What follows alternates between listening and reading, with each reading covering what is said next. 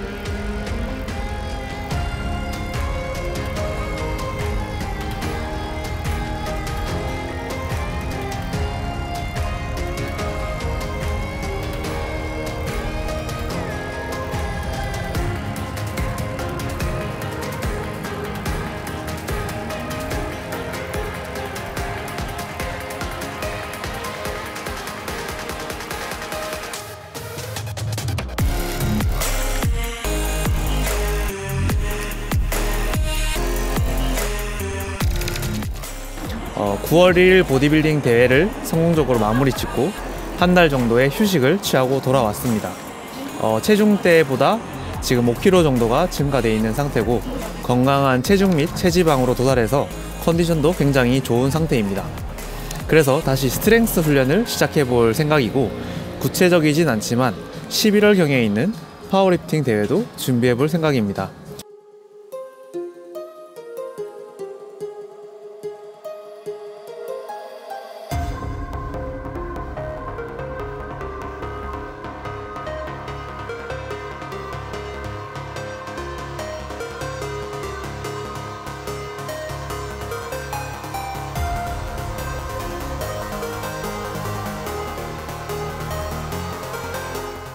사실 지금 졸업 막학기라 학업에 매우 많은 시간을 쏟아붓고 있지만 충분히 학업과 운동을 병행하면서도 어, 제 목표를 이룰 수 있다는 것을 보여드리기 위해서 다시 한 번 더 strength 여정을 떠나볼 생각입니다.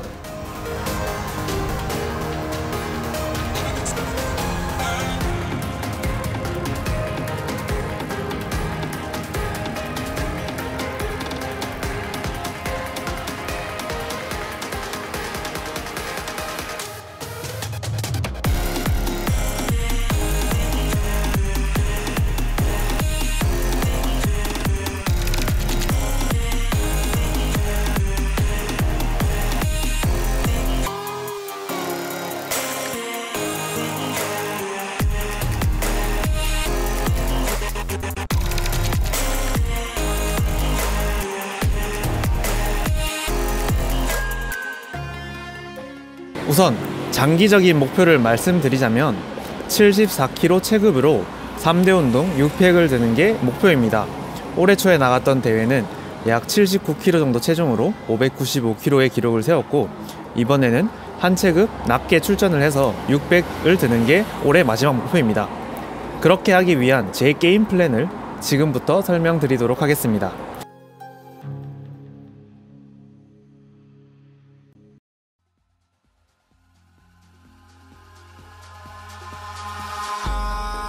In the sky, gazing far into the night. I raise my hand to the fire. 사실 제 게임 플랜은 매우 간단합니다. Quality reps. 한 회 한 회 모든 횟수에 quality를 올리는 것입니다. 무슨 뜻이냐? 운동을 수행하는 한 동작 한 동작에 최선의 집중도를 쏟아붓고 모든 자세를 완벽하게 하는 게 목표입니다. 앞으로 진행할 프로그램은 웬들러 531이라는 프로그램을 진행할 것이고 제일 많이 하는 날이 5회이기 때문에 한 회 한 회 집중해서 quality rep을 만드는 것이 목표입니다. 또한 보조 운동도 8회 이상을 넘기지 않고 6에서 8회를 목표로 time under tension 또한 30에서 40초를 목표로 천천히 진행하는 것이 제 계획입니다.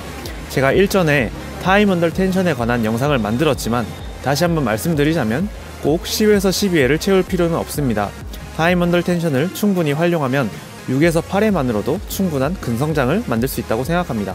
그리고 개인적으로 6에서 8회를 선호하는 이유는 집중도의 차이입니다.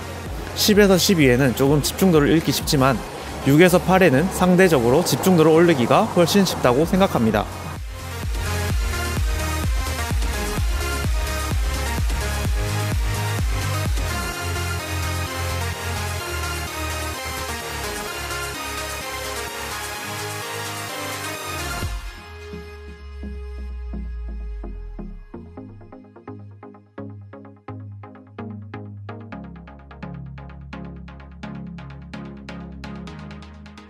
이상으로 제 게임 플랜에 관한 설명이었고 영상을 마무리하면서 요약해 드리자면 모든 운동 한 회 한 회를 완벽을 추구하면서 운동을 할 계획이고 횟수 채우기 운동이 아니라 한 세트 한 세트 모든 운동을 제 것으로 만든다는 생각으로 quality rep을 쌓아갈 생각입니다.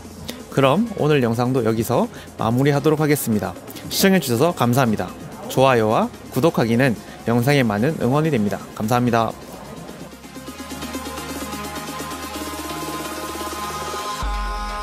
In the sky, gazing far into the night. I raise my hand to the fire, but it's no use, cause you can't stop it from shining through.